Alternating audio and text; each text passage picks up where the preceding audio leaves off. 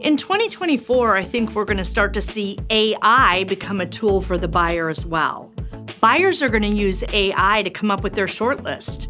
They're going to use AI to write their RFP. They may even use AI to help them evaluate what the top three or the shortlist should be.